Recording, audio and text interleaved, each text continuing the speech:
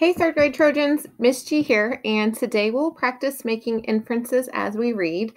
Um, and so you should have already watched the BrainPop video from Monday and um, practiced making inferences with some short passages yesterday. Um, so we'll be using those to help us practice again today. All right, so let's go ahead and get started. Just to review, um, when you make an inference, it's kind of like being a detective.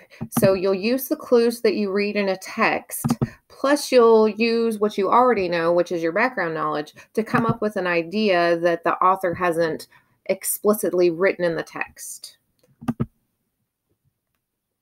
The only way to get good at making inferences is really to practice um, and really think about a text as you are reading it. So, when we practice today, we're going to use some of the passages on the work you did yesterday to get good at explaining how you arrive at an inference. So, basically, today we're going to be explaining how we know that our inference makes sense.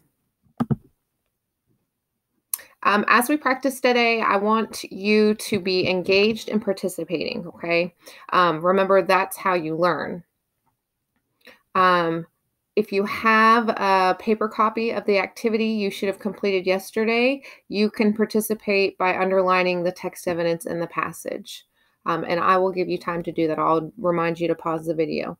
Um, if you don't have a paper copy, I want you to just read the text evidence out loud from the screen. So when I ask you to share your background knowledge, I want you to say it out loud to yourself or someone or something around you.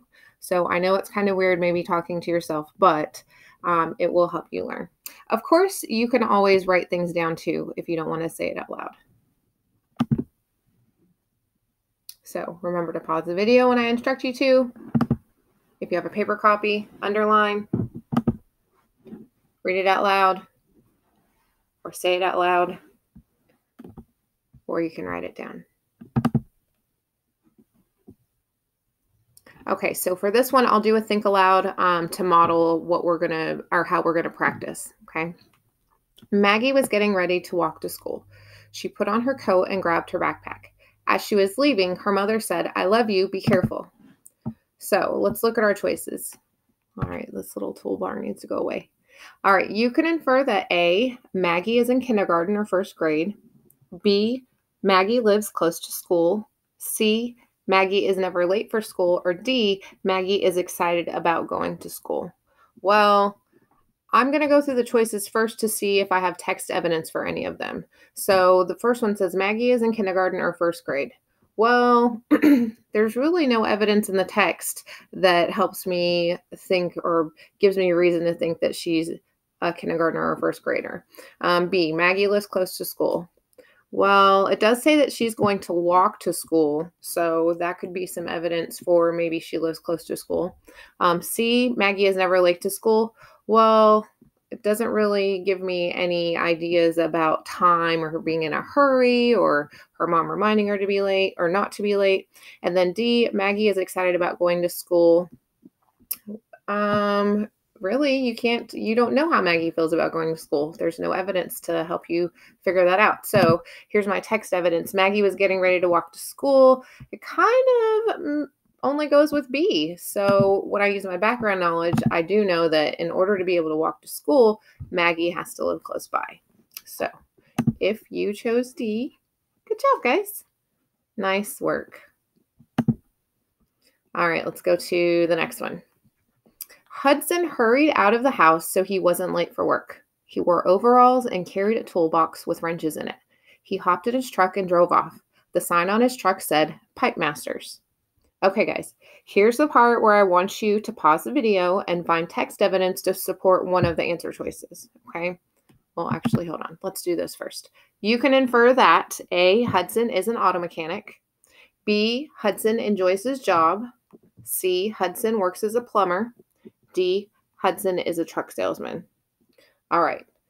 Pause the video, underline evidence on your paper copy if you have it, or read it aloud from the screen. And don't forget to say how you know by talking about your background knowledge that helps you make the inference. All right, here's the text evidence I found to help me make my inference. Um, it says he carried a toolbox with wrenches in it. Okay, so I know he fixes things probably or works on things. And then the sign on his truck said Pipe Masters. So my background knowledge tells me also that I know a plumber fixes pipes and might have to use tools like wrenches.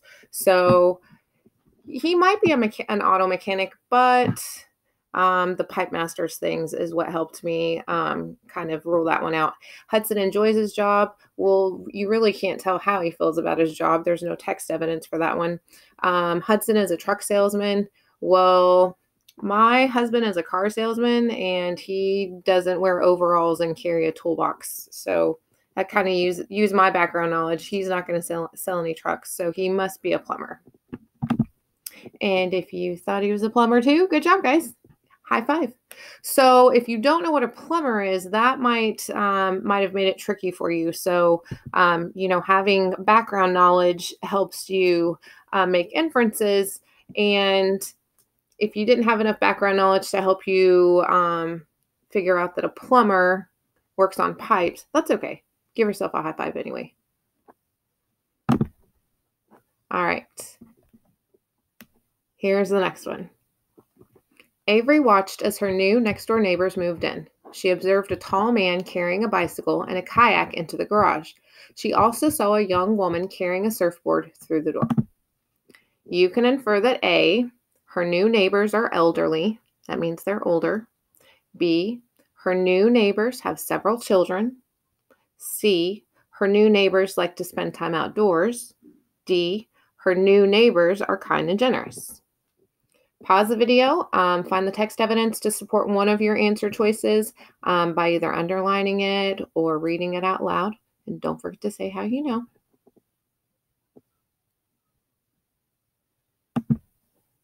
Okay, here's the text evidence that I found to help me make my inference. Um, it says that she observed a tall man carrying a bicycle and a kayak into the garage. And then um, there was also a part about carrying a surfboard. Um, here's another one of those things where if you don't have background knowledge about it, you might not understand it. So a kayak is a type of boat. It's kind of like a canoe.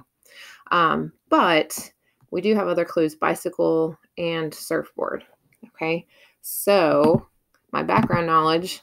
Um, I know that a bicycle and a kayak and a surfboard are all things that you use outdoors. Um, so that kind of goes with C. Her new neighbors like to spend time outdoors.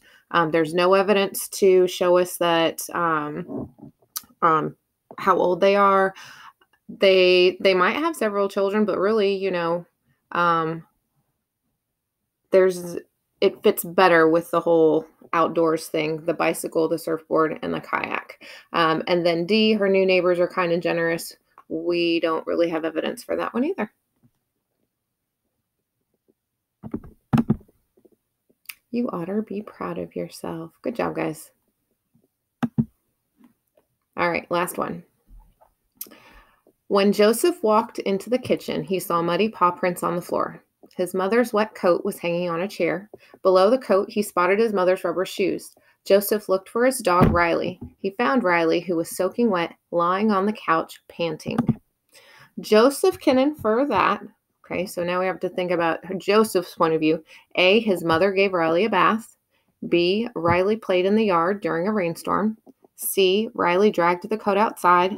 Or D, his mother took Riley for a walk in the rain. All right, guys, pause the video. You know what to do.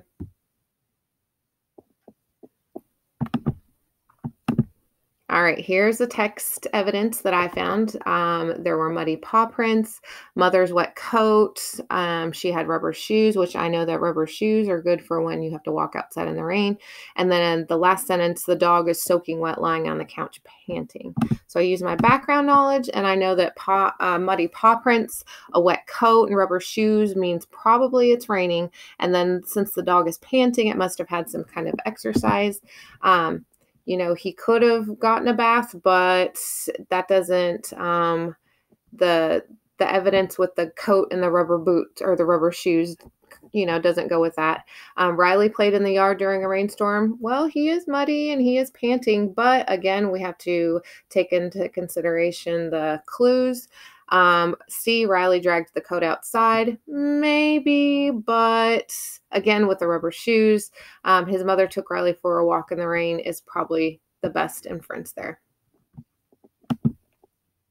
Nice job, guys. Thanks for hanging with me. Okay, so tomorrow, I want you to practice what we did today. Um, so today we made the inference and then we also explained how we know um, that the inference was correct. So we talked about text evidence and we talked about using our background knowledge. Um, so tomorrow you're going to read a paragraph and then the questions.